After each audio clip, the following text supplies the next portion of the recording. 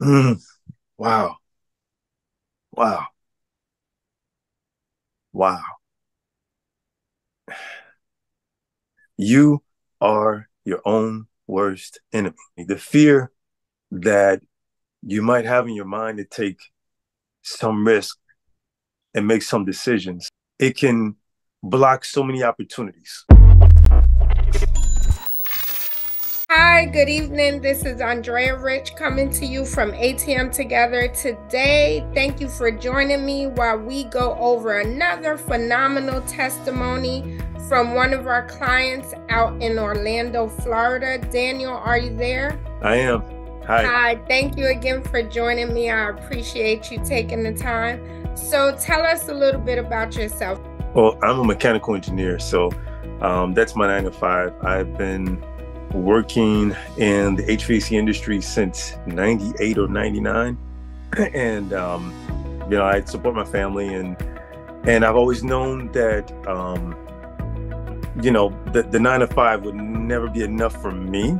Um, so I've always, you know, envisioned um, just taking a step beyond and, and owning uh, my own business so that I can own more of my own time. At this juncture of your life, why is passive income important to you?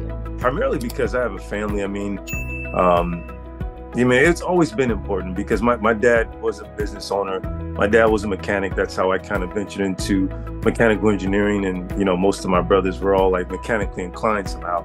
So, um, you know, I, I got it from him. I learned business watching him, learned how to conduct business watching him, learned how to use my hands watching him. So um, a lot of that was kind of downloaded as a kid. And like I said, I always knew that that you know, the nine to five, it wouldn't be my final destination. It was just a, you know, a, a vehicle that that I would use. I just didn't know how long it would take to get to that point yeah. where I could say, you know, because I've done a couple of different things and, um, you know, I can't say, you know, they failed because they were just different phases in times right. of my life where I've done different things. So um, at this point, I decided to to go back into um, entrepreneurship. So here I am. How was engaging the ATM in it in and of itself? How was that process for you? In terms of you know getting into it, learning you know the the steps, the programming was it was excellent. The training videos, everything was there. And yeah. when I pulled out the checks, the check sheet, and when I started going through the check sheet, I said, "Wow, they set everything up yeah. according to you know your your need. I mean, doesn't matter what type of person you are. If you use the yeah. check sheet, you'll be yeah, fine. Definitely. You know, and, and you're using it in conjunction with the videos, you'll be fine. And then you have a support system. Yeah. So, you know, you guys provide everything that really you need to kind of just home run um, you know, your your your install. And my first one was I guess the biggest challenge was was getting inside of a porcelain floor. Um, okay. You know, I'm I'm pretty familiar with tools. Like I said, my dad was a mechanic, so I'm very familiar with tools. So I'm comfortable. Yes. So even if even if it's my first time performing in action, I still look professional because I know my way around tools. Right? Exactly. But you know, that porcelain floor was it was a little bit of a challenge. Right. However, there was a video where I forget who was one of the guys explained that like if you're going into porcelain ceramic tile, yeah. this is what you need. And I knew in my head I needed that diamond cutter. So um, you know, I was able to, to, to, go out and get that and complete the job, and um, everything worked out.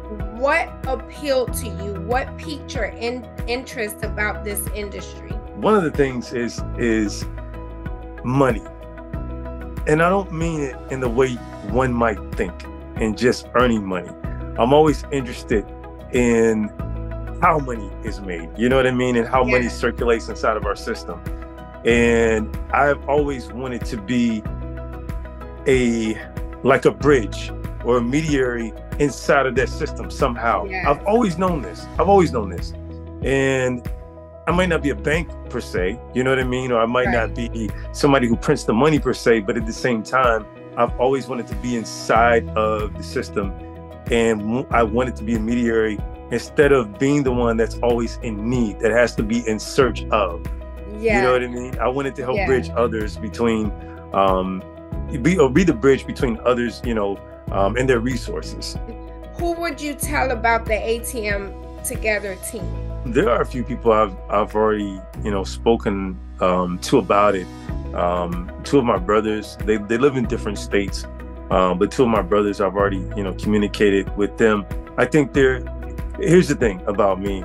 I've done several things in my life, and and I'm comfortable with failing. I'm comfortable, and I'm not speaking failure into my business. I'm not doing yes, that. Yes. What I'm saying is that I'm I am comfortable with um, with taking with taking some things as lessons, right? Right. Because right. Those lessons are, are going to inform my future decisions, right? So yes. I'm I'm very um, guarded.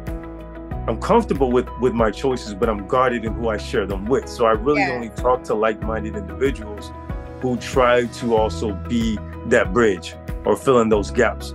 Um, right. You know, and, and and those who might look at um, life through a different lens and, and, understand that you know you can't really get far trading your time for money you know so um, so i've only really spoken about it to them but at the same time and, and also one of my cousins who who actually used to um, i won't say the company he worked for but he used to repair safes for several years okay. on the east coast. So um, it's a pretty big company. So i was actually consulting him um, when i was going into um, you know, the business, and he was telling me what I would need, the tools that I right. would need to to get, you know, the ATM installed, and how some things may not. You know, he he walked me through everything, and, and it was funny because everything he said it aligned with um, the training videos when it came to the install. So I knew he knew right. what he was talking about. So I've been communicating with him about it, and, and I wanted to say, like those who I've spoken to, I I know they're watching me to see my success with it, exactly. and they're hearing my excitement about it. Um, and and they're also seeing you know exactly how this might be beneficial for them as well so there right. are a couple people i have in mind already when, when you asked me the other question another thing I, I felt to mention of of why i wanted to get into this business you you see like i have a board behind me and, and i have like certain areas in the board where i've written down i usually keep a list and and two of my brothers know this i keep a list of of ideas and entrepreneur mm-hmm. ideas that um, someday I might launch them. Who knows? I might give the idea to a friend, which I've right. done in the past because they were ready and they had the resources. Right. And I'm good at just I can find the niches and I can find the needs. I'm I'm really good at that, right? Right. So on my board, I actually had written out vending an ATM mm. on my board several years ago. Wow. Right before the pandemic, that was one of the things. I would say some of the other things I've written down, but I won't say them. Right. They're right. on the board though.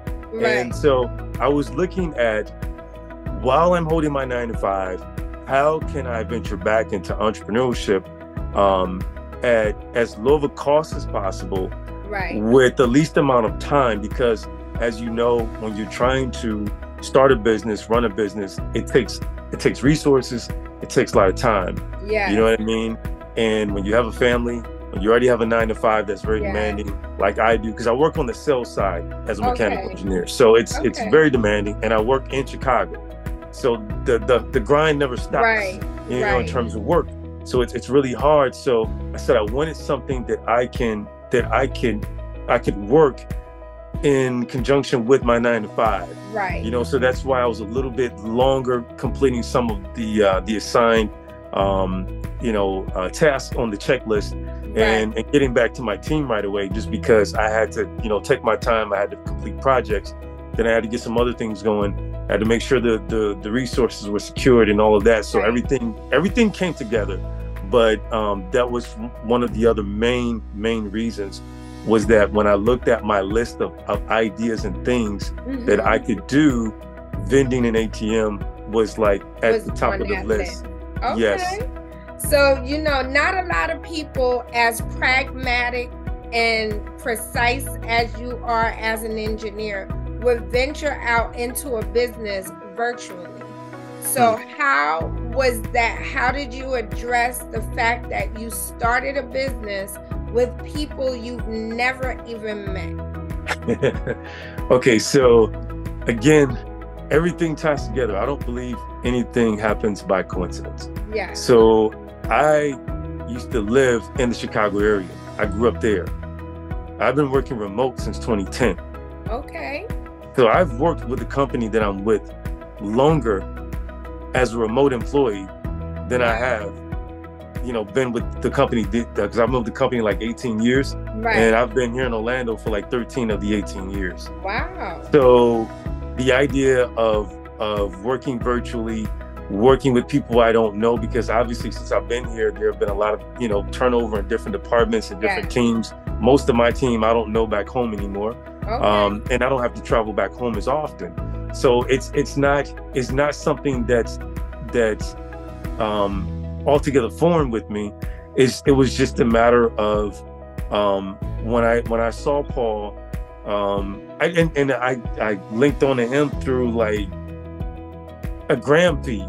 Right. Somehow I, I saw it and Paul was talking, and I can I can tell when some people are being truthful and when they're not. You right. know what I mean? Even if it's somebody I don't know, even if it's through the internet. And I looked and then I started researching him a little bit. Let me see who, yes. if he says, if he is who he says he is. So exactly. I started looking and I'm like, okay, he's saying some things I've heard before. So that, okay, that's a good, good sign. Right. And um, so it, it wasn't like it was completely unfamiliar. Right. Um, it was just a matter of me being willing to take the risk with you guys because I'm I'm used to taking risks. Okay. Uh, but I take more calculated risk. I don't mind a gamble.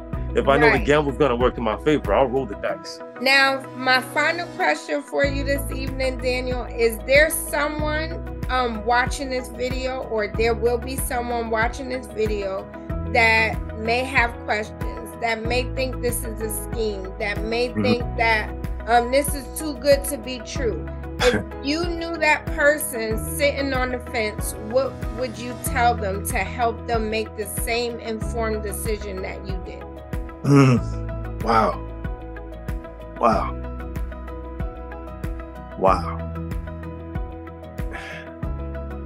You are your own worst enemy. Say that again.